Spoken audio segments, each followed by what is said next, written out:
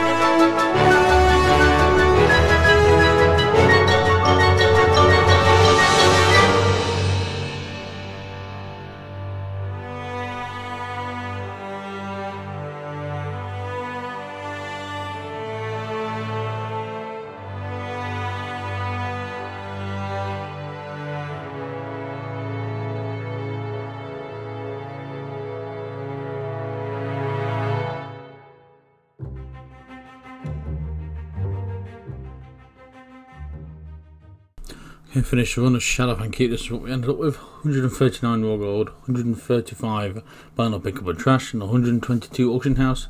Us a grand total of 396 for the run. So if you enjoyed, push like button, comment down below, or subscribe. Twitter always down below.